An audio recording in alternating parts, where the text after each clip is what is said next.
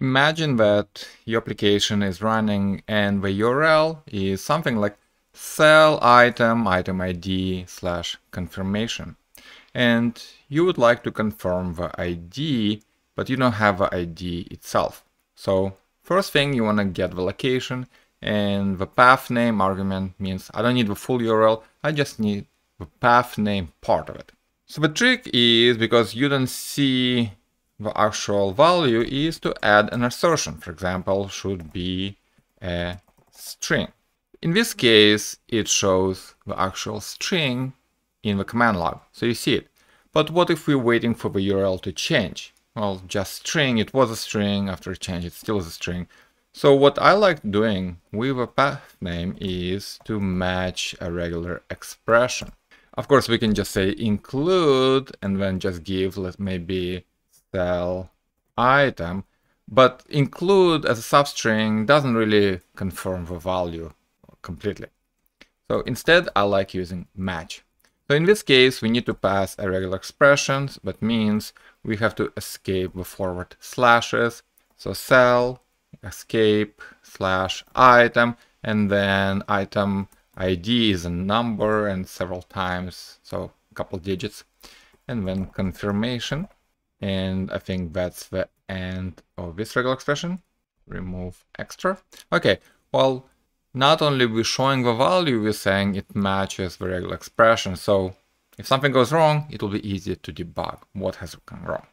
But let's say we want to actually get this ID that's, we know it's a couple of digits long and it follows item, but before the slash confirmation part.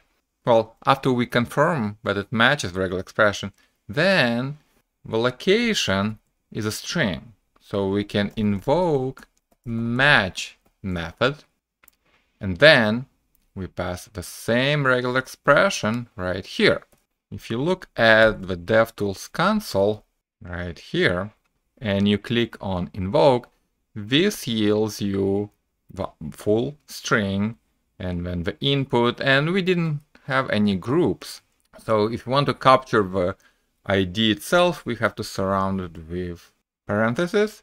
And then all of a sudden we get this captured value right here. But, you know, grabbing it by index is kind of unwieldy.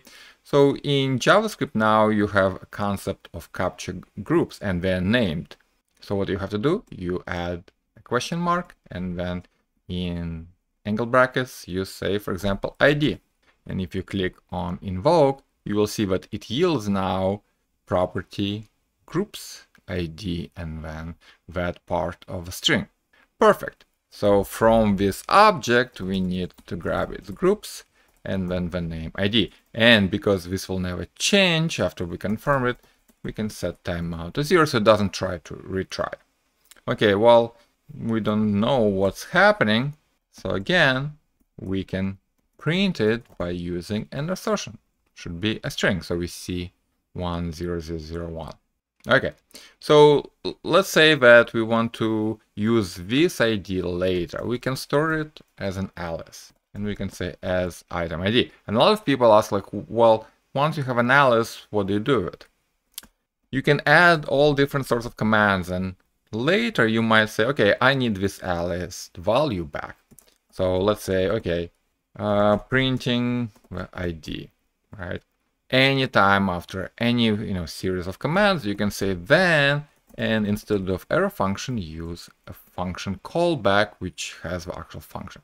In this case, the alias value will be available as a property of this object, item ID. So for example, here we can say cy.log and then a template item ID is and maybe just print it to the command log item ID. And we don't even have to use this item ID. If you just want to get its value and confirm it and convert it, you can say, get me the alias value using add item ID. You know, you can say should be a string, or you can directly convert it to a number. And for example, confirm that the ID is within some range be within and let's say larger than a thousand but smaller than 20,000 Perfect. You can see that we got the alias value and we confirm the value to be a certain range. So this is how you get the part of URL. Make sure it actually matches what you think it should be.